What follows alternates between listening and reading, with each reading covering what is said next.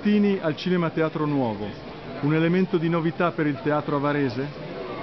non un elemento di novità assoluta, ma diciamo così, il riallacciarsi a un'antica tradizione, quella di, del teatro di ricerca, teatro di innovazione, che in realtà da un po' di anni a Varese non trovava spazio.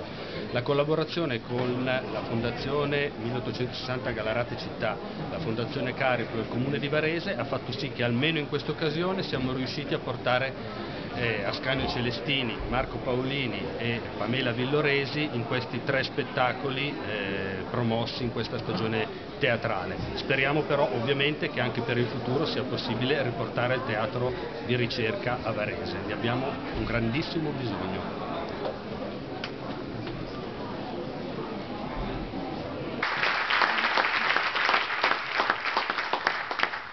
Dice una coscia, però non morirono una volta. Un'altra volta mio padre rischiò di morire stava in cima a un albero e pisciò in testa a un tedesco, il tedesco gli sparò addosso ma non lo prese e non morì manco quella volta. Poi soprattutto mio padre raccontava che rischiò di morire una volta per colpa della cipolla, gli spararono addosso per colpa della cipolla.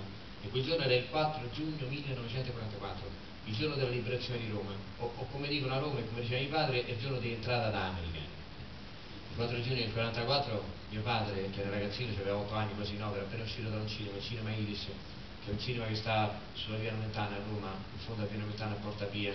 Ora esiste ancora questo cinema, si chiama Cinema Gioiello, benché in ristrutturazione è chiuso, può essere si fa un supermercato, vabbè, questa è la sorte del cinema cinematografo. Stavano tutti fermi sotto una pensilina grande questa scuola Giovanni Galliero, perché in lontananza vedevano certi soldati che a giudicare da come erano vestiti qualcuno diceva vedrai che quelli sono americani, dicevano, eh, vedrai che sono arrivati finalmente, sono arrivati questi americani. Qualcun altro diceva no, guarda che secondo me quelli sono sempre i tedeschi. Qualcun altro scettico diceva, oh, saranno tedeschi travestiti da americani. Non ho trovato nessuno.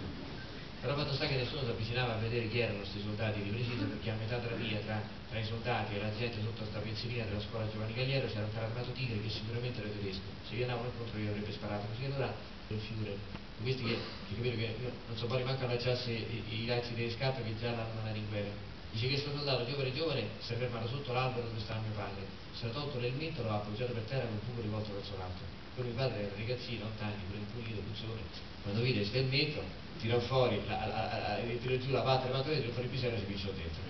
Ma una cosa eroica, anzi atletica, proprio olimpionica, riuscì a far centro dentro un buco della cazzarola così piccolo, con una pisciata di suo non è mai stata una cosa, diciamo, esemplare, svizzera, precisa, insomma.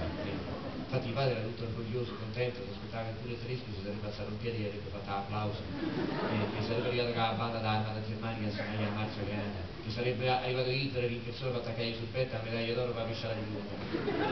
Invece il tedesco, come si dice a Roma, più da cielo, insomma non apprezzò le doti, doti te tecnico-scientifiche di, di, mio padre, dice, dice a mio padre che più fuori la rivoltella e gli sparò addosso però quando mio padre vide visto la scappò, stava in cima all'albero, scappò da un ramo a quell'altro ramo, da quell'albero all'albero appresso, mentre scappava sputava in testa al tedesco, bestemmiava e diceva i morti, che pure se il tedesco era tedesco, che l'avrà capito che non era proprio un ringraziamento.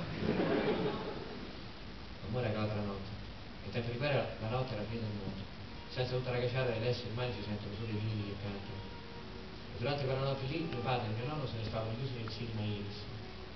Mio nonno mia nonna aveva parlato con la sora Irma e la sora Irma gli aveva detto a mio nonno che aveva un affare importante per le mani. La sora Irma gli aveva detto che un parente suo della sora Irma, uno che stava a affascare un po' fuori Roma, nei Steli Romani, dice che aveva rubato un maiale tedesco e, e, dice che comunque questo maiale se lo vendeva per mille lire, che era un prezzo interessante, se non ottimo, straordinario, speciale, figuriamoci il tempo di guerra. Eh. Quello, quello, allora, allora la gli disse, io ci avrei da parte avrei da parte boh, qualcosa come 300 lire. Se voi su giù, mio nonno, potete mettere il restante dei 700, questo magari se lo compriamo via subito, che a questo prezzo non ci cambia più.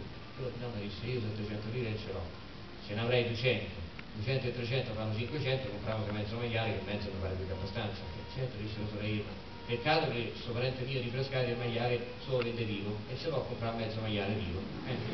Perché se americano soldato, se vicino altri morti, ti guardò, ritoccò, po', il girò, rispostò, poi dice che l'americano si girò verso gli altri americani e disse sono tutti morti, in americano disse, io non saprei dire, sono tutti morti, dice tutti morti, tranquilli, eh? e, e si misero a mangiare questi americani. Tampiere fermo fermo, che si ammazza, oh. Ma come muoiono in America? In maniera differente da noi, guarda. Così io non ero mai morto prima, le morti l'ho visti pure pochi, invece oh, appena mi avete a far morto, guarda, che poi se la pure il paragone, stavo mezzo ai morti quelli veri, invece parlo più morto io di loro, un primatore in mezzo a tante comparse, pensavo.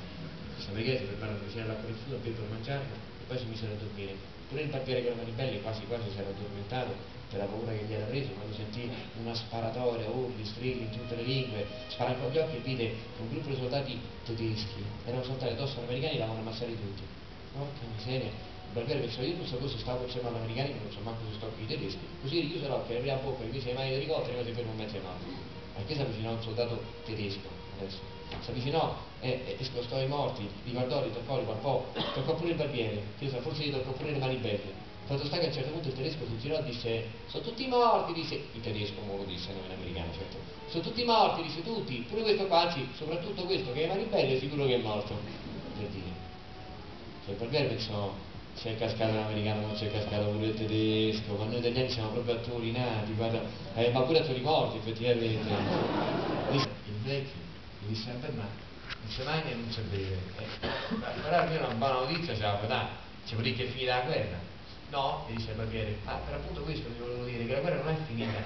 E anzi, noi non sappiamo manco se stanno magari i tedeschi, i americani, se sono alleati loro tra di loro, ma si sparano uguali, contro di noi, tutti contro tutti no, mi dice.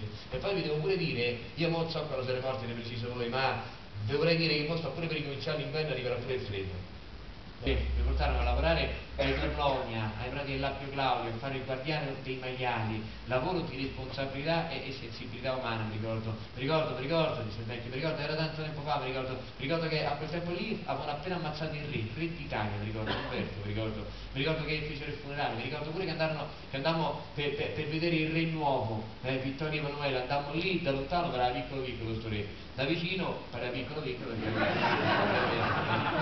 uno disse, vabbè ma è un ragazzino, crescerà, sono passati 40 anni, era ancora cresciuto, è un nano, infatti oh, quello, lo chiamano Re Pippetto, quello, il primo di una serie di nani al governo in Italia. Secondo me era successa una brutta cosa, insomma, gli avevano ammazzato il maiale, insomma. Che poi mi è lo scrupolo per sul da sotto e quando i tedeschi sono andati via io dice vecchio mi sarei avvicinato mi sono messo a scavare per tirarlo fuori. E però noi c'avevamo manco più la parete piccone lo tiravamo fuori con le mani. Fino a che l'ho tirato fuori per davvero sto lusso che però era già morto non penso e te credo tutta la terra io ho buttato addosso sto lusso e poi a sto lusso io dice il vecchio gli ho lavato le scarpe e mi sono messo ai piedi belle le scarpe del lusso belle morbide avevano fatte di sede orientali arabesche e poi a sto lusso l'ho seppellito scarso. Che a casa mia dice il vecchio? A casa mia i morti li seppelliscono scarsi a casa mia mai è un morto seppellito con le scarpe piene. Casa mia si dice che se il morto gli lasci le scarpe, il morto gli aveva i piedi pesanti, via arriva manca a porta di casa e si tirava sull'altro mondo. A casa mia dicono che se il morto gli lasci le scarpe, poi rimane qua, tra di noi, concepisce la vita pure la morte.